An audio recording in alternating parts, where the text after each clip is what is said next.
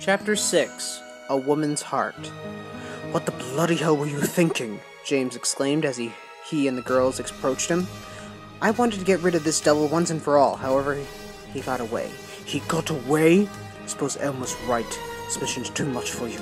James said to Daniel as he reached inside his jacket and unstrapped his Walther. I think it's time you head back to England. You obviously have no right to be on this mission. But James, you don't understand. This was meant for me. I have to go after David. No, Double O Siletti, you are finished. Right then, Double O Siletti charged James and pushed him against the nearby wall. Listen, Bond, I don't know if you have ever had an evil twin, but this one is mine. I will not let you get rid of an enemy that was meant for me. Understood? Siletti, you are out of line. Now get out, and so help me. If you, the two spies, then turned sharply at the sound of a scream. They ran over to where they were previously standing and saw Serena on the ground holding Moneypenny. She was spazzing out. Bond got down and started to examine her. She seems to be in shock. Daniel got down and joined James in examining her.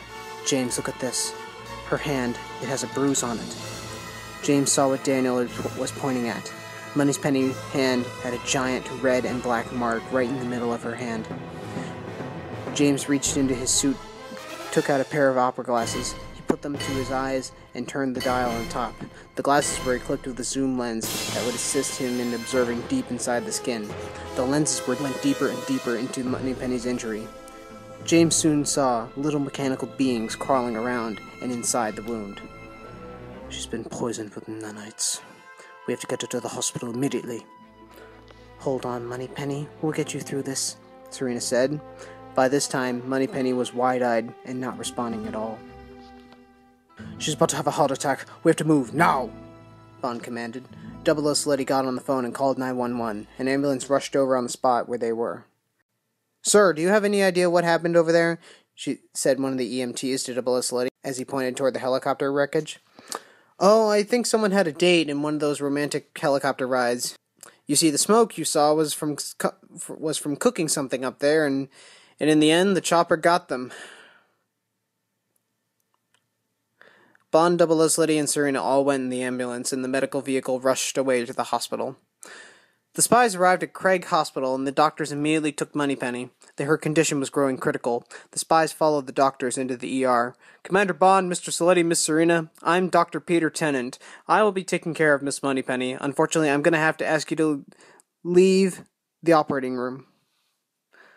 Doctor, I need to stay here. I owe it to her. James pleaded. Please let him stay, Daniel agreed. Dr. Tennant nodded his head. Daniel and Serena left the OR and Bond closed the door. The two spies waited and waited outside the room.